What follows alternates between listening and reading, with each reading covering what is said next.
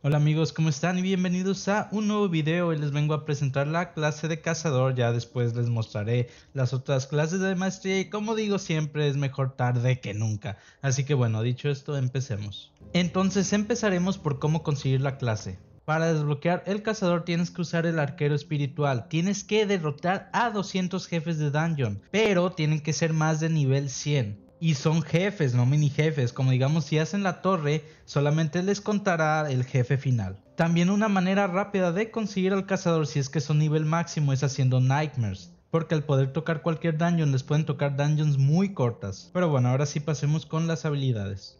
Ok, entonces empecemos por la E que lanzaría una flecha que hace el triple de daño y deja un área alrededor que quema a los enemigos. Continuando tenemos la F que deja una trampa en el suelo aparte de envenenar a los enemigos y atraparlos a los que la activaron.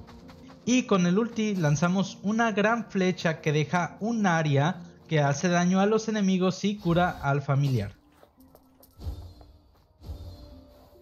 Como pueden ver ahí nos están curando. Ahora sí pasemos a lo más importante del cazador que sería la captura de enemigos. Nada más para aclarar, no pueden capturar cualquier enemigo, solamente los enemigos que tengan este símbolo en la parte superior. Ya cuando hayas decidido qué enemigo quieres capturar, le picas a la R y te dará un tiempo en el que lo puedes matar para capturarlo.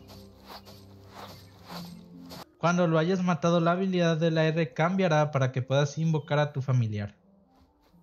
También si se llega a morir su familiar no se preocupen, ya que podrán volver a invocar el enemigo que capturaron mientras tengan recargada la habilidad de la R.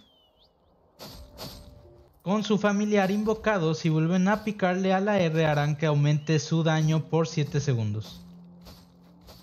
Y por último, si quieren cambiar a su familiar van a tener que deshacerse del actual. Arriba de la R va a haber un botón que dice Release y aquí estará la opción para poder quitarlo.